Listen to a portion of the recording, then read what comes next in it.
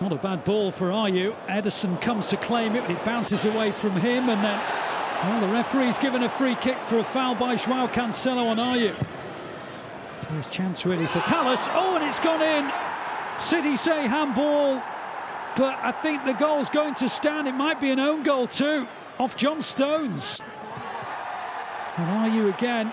Oh, was that a foul? The referee says no. Andersen, City two down. It's happening again. Here's Bernardo Silva.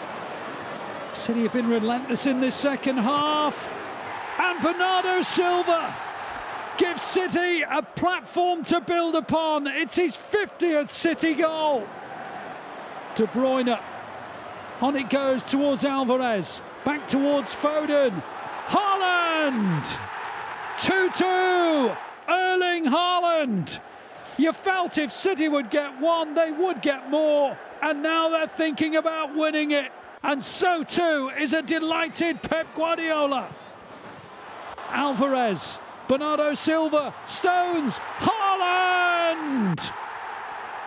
You knew they'd turn it around. They've done it before. They'll do it again. And they lead 3 2. He wants it, Haaland. He gets it. Hat trick. Ladies and gentlemen, a first match ball for Erling Haaland. It won't be his last. Do you think he enjoyed it? You bet he did. A quite brilliant turnaround victory from the defending champions.